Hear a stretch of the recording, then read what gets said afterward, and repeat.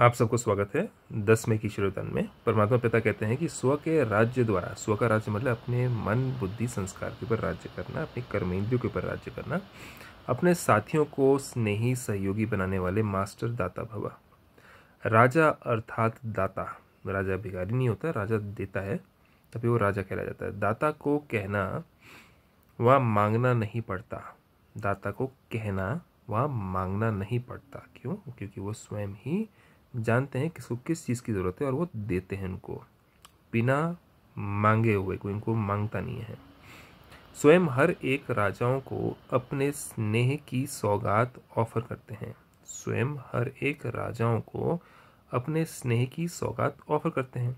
आप भी स्व पर राज्य करने वाले राजा बनो। तो हर एक आपके आगे सहयोग की सौगात ऑफ़र करेंगे। अगर हमारा अपने ऊपर कंट्रोल रहेगा, अपने मन, बुद्धि, संस्कार पर कंट्रोल रहेगा, हमारी सोच, हमारे बोल, हमारे कर्म एक्यूरेट होंगे तो हमें ऑटोमेटिकली सहयोग मिलेगा।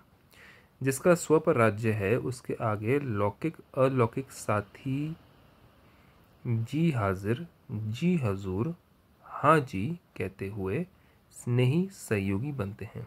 जिसका स्व पर राज्य है, उसके आगे मतलब कि जिसका अपने संकल्प, अपने बोल और अपने कर्मों के ऊपर प्योरिटी के द्वारा, परमात्मा की शक्ति के द्वारा कंट्रोल होगा, उसको हर तरफ़ से सहयोग मिलेगा। लेकिन जो अपना संकल्प, बोल और कर्म के ऊपर काबू ना रखते हुए, अपना आबा खो देता है या अपने कंट्रोल को खो देता है या विकारों को इस्तेमाल कर लेता है मैनिपुलेशन कर लेता है अपने काम को बढ़ाने के लिए चाहे लौकिक और अलौकिक में तो फिर परमात्मा कहते हैं कि उसको सहयोग नहीं मिलता।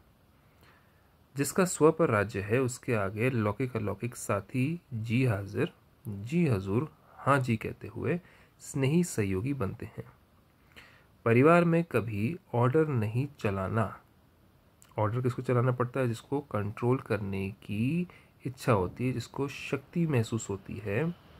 जिसको ऐसे फील होता है कि हो सकता है कि लोग उसकी बात ना माने, या उनको रिस्पेक्ट ना करते हों, या उनको खुद ही फील होता है कि उनकी जो वैल्यू है थोड़ी कम है तो ऑर्डर चलाने से उनकी वैल्यू बढ़ जाएगी। परिवार में कभी ऑर्डर नहीं चलाना।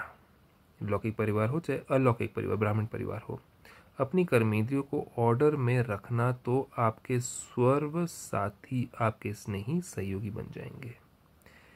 जो हम अपने ऑर्डर में रहेंगे तो ऑटोमेटिकली हमें सहयोग मिलेगा। लोग, आत्माएँ और हमारे खुद के कर्मेंद्री भी हमारे कंट्रोल में रहेंगे और हमें हेल्प करेंगे आगे बढ़ने में।